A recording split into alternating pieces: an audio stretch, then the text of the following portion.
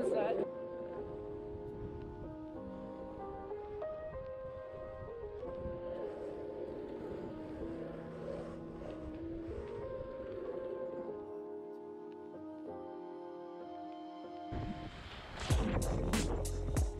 What's up guys and thank you for checking out Work for Avocados.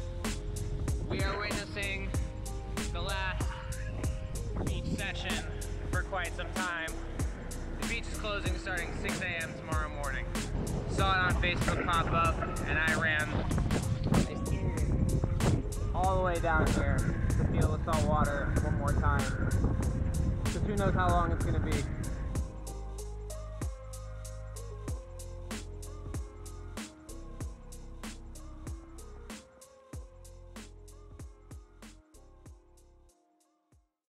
It's already been five days since the beach is closed. And I really feel like that was the last thing I had. The job went, the income went. We're in uncharted territory, guys. I know it's really easy right now to get depressed and beat up and wondering what's all gonna happen from here, but we really just need to find something to do every day to be productive in some sort. I've tried a couple things this week to replace surfing. Some of them worked pretty decently. Others, not so much. I did come across something online though that I want to share with you guys. It is a DIY balance board, kind of like an Indo board, but instead of this front to back motion, it's actually long ways and it rolls rail to rail so you're able to simulate cross-stepping, nose riding, and your overall balance and ankle flexibility.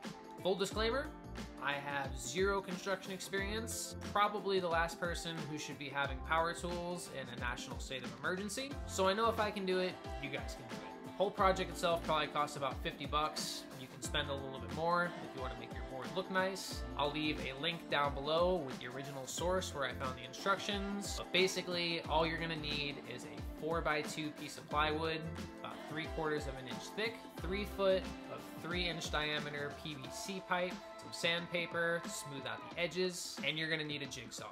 I'm actually pretty stoked at how it came out. I've been riding it all morning, and I will show you guys the footage at the end. If you haven't already, please press that like and subscribe button. I do videos every Thursday on surfing, skating, and finding the stoke on the small stuff. Now more than ever is when we all need some stoke. So without further ado, let's get to it.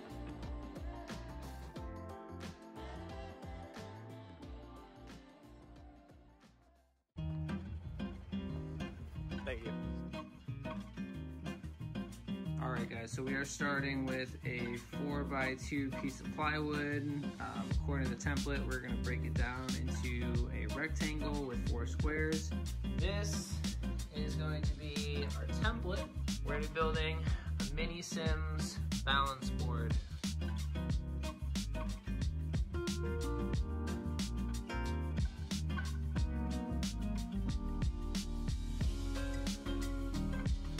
Alright, so I do not have the most steady hand in the world.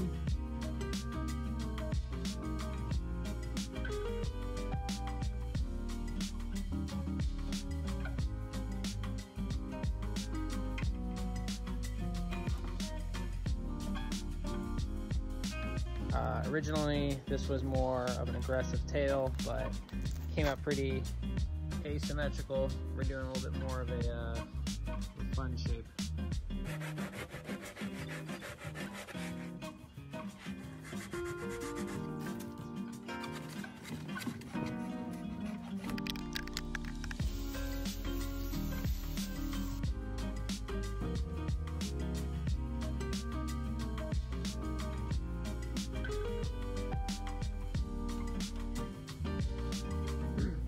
So next up we have the stoppers that we're going to make to prevent you from rolling off.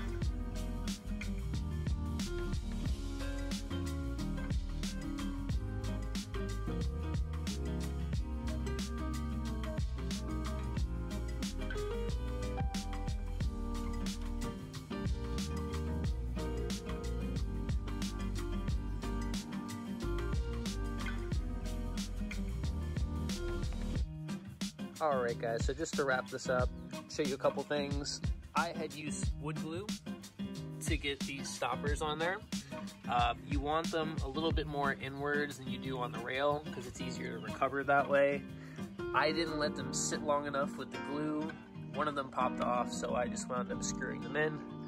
And one last note, if you are gonna use this outside, be prepared for the balance board paint to come off.